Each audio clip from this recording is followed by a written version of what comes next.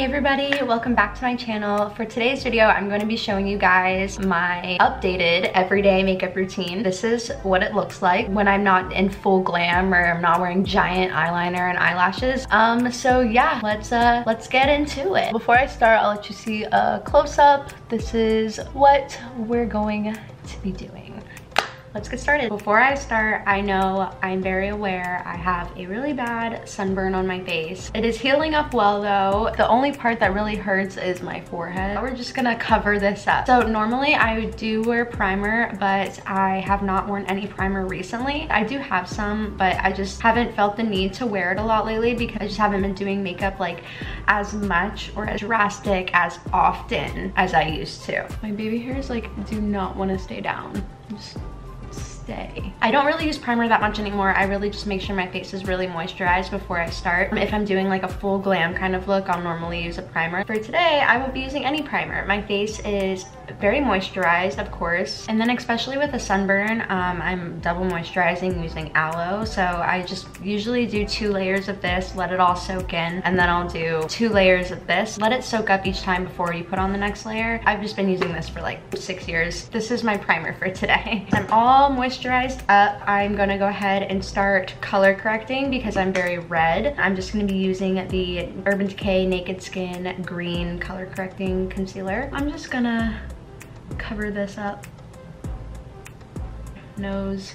Ooh, a little too much of my nose. And then on the sides of my face. And then I just take my Beauty Blender and of course just blend that out everywhere. Cover as much red and spread it out as evenly as I can. The green obviously wouldn't be part of my like everyday makeup routine if I was not sunburned, so just keep that in mind. Big difference already. And then after that, I just go ahead and start my foundation. I don't really have anything that actually matches my skin tone right now. I'll be blending my foundation and the two foundations I'm gonna be blending together is the MAC Studio Fix and um, the NARS Sheer Glow Foundation. I don't normally mix these two foundations together. I normally mix these two foundations together, the Sheer Glow Foundation and the Natural Radiant Longwear Foundation. But as you can see, I'm running quite low on this one. We're just gonna improvise with the MAC Studio Fix and then I just put it everywhere and then I'll blend it out with a brush. And then also I'm gonna put some on my neck just to make sure everything's even. Blend it all together. Something else I've been doing differently is I don't blend out my foundation with a beauty blender as much anymore. I feel like it spreads a lot more evenly with a brush, of course. I feel like everybody feels that way, but like also it doesn't pick up as much product and it's helped me kind of figure out exactly how much foundation I need at once instead of pouring too much out and using way too much foundation, if that makes sense. And then I just like to dab my Beauty Blender just to pick up some extra foundation. Next up, we conceal, and I definitely do my concealer a lot lighter than I used to as well. I just kind of do one swoop under my eye each and I don't double dip my brush I use all the product that came off on the little the little wand and um, blend it down my nose here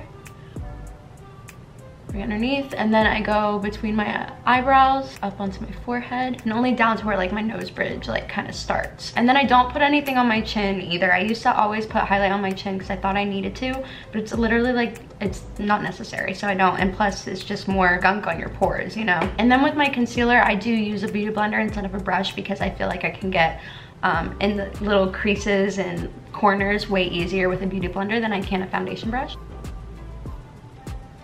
Oh yeah, and the concealer I used is the uh, Tarte Shape Tape. Sunburn, we don't know her. And then I just pull the concealer on my nose down to the tip. So now everything is all blended out. My concealer is a little bit light for me. I'm not really sure if you can tell on camera, but it's okay. Now I'm gonna go ahead and bake where I concealed using the Airspun Loose Base Setting Powder. So this is the only place I really bake at the moment. Um, nowhere else, I just kind of let it all sit and then I'll set the rest with powder as well. Then I just wipe it off like 30 seconds later. I don't really let it bake for too long. And then I like to take my MAC Studio Fix and go in with a fluffy brush and get everywhere else. This will bring more color to the rest of my face so it doesn't look so flat and it'll let the highlight show a little more. And just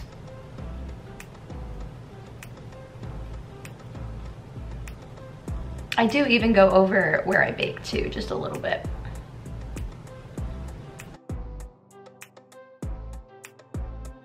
Also because this highlight is a little too light for me right now, but can't really tell with this lighting because I can't figure out this lighting on this camera. Wow, we're almost already done. As usual, I like to stop on my face for a second and go to my eyebrows and then I'm still using the same palette for my eyebrows. I love the, the dystopian color and the sultry palette is like the perfect shade for my eyebrows. First, I just brush them out, get all the extra powder out. This brush is my favorite all-time brush ever. It's the Expert Shadow and Liner Brush from Bare Minerals. I love this brush for eyebrows. If you don't have it, go get it. It has a nice packing flat end and then a nice um, tapered end for liner and brows. And obviously I have skinny brows, so I do give a little bit more of like, I do give them a little bit more of a shape, but I don't conceal my brows at all when I do my everyday makeup.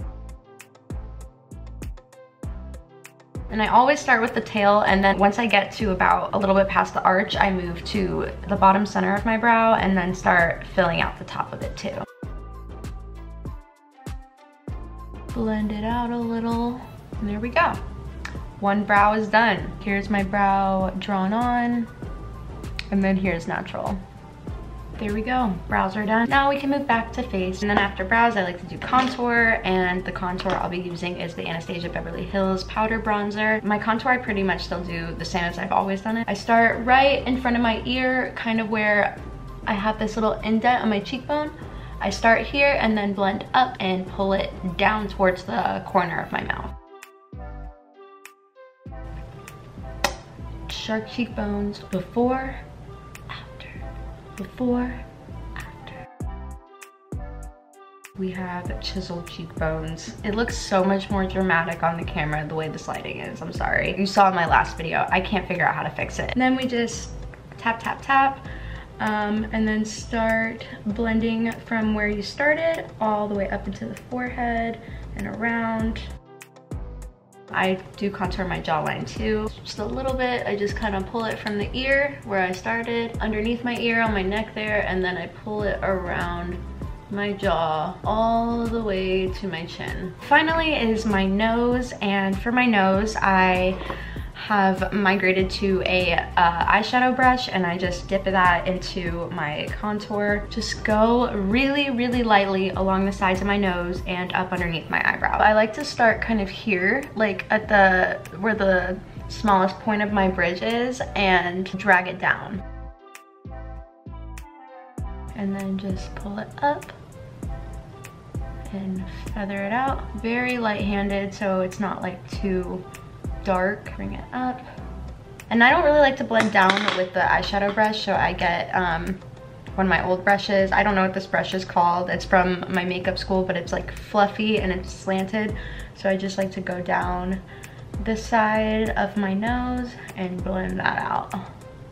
And after contour, of course, is blush. The blush I normally use is the BH Chocolate Orange palette, but I just have been using this little matte blush from a, like a random drugstore that I got that I lost the lid to. This is like my everyday blush. I use the Morphe M405, and then I only start at the apples of my cheeks and pull it all the way up to about my eyebrow. Finally highlight and I, I just use my Becca Champagne Pop highlight for my everyday highlight. This is the Morphe M510, lightly, just a little bit of highlight, not too much. I use my finger to get the tip of my nose, blend that out and go up, pull it up, up, up, finger again, and I go on the smallest part of my bridge, go up, up, up, and get a little bit on there, and I like to go right underneath my brow, just barely Finally, we're almost done, is just to do my lips and eyes. Sometimes I like to leave my lips bare, uh, and then sometimes I like to overline them because I feel like it makes the look look a little bit more clean and like done. But we'll do lips last. Next up is my eyes and I usually will just leave them like this or I like to take a little bit of the same color I used on my brows do a very subtle little like wing at the end of my eye. So I go in with my eyebrow brush and just pull it out open, connect my, my lower lid to the, and just kind of flick it out. So then I have my little wings kind of. And then finally mascara. The mascara I use is the NARS Climax mascara. Just like to do like two or three layers of this, just on like my outer lashes though. So right here on the end. And normally I would um, use an eyelash curler to make them kind of stand up more, but my eyelash curler broke. And then a little bit on my um, bottom lashes on the outer corner as well. Just a little. And now for the last thing, I normally would be done at this point. I'm gonna go ahead and do my lips. Whenever I do my lips, they're always overlined. I'm using the, the NYX lip pencil in SPL 810 Natural. I think that's the color. Pretty much I just overline my cupid's bow and then connect it to the corners of my mouth and then I overline my bottom lip.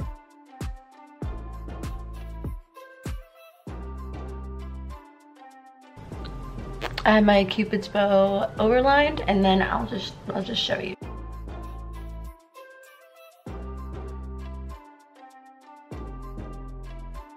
For the bottom, I pretty much do the same thing. I only overline like right underneath and then follow my lips and kind of connect it to the corners. There's my lips all lined up. And then I use this NYX Soft Matte Lip Cream in the color SMLC19 Cannes.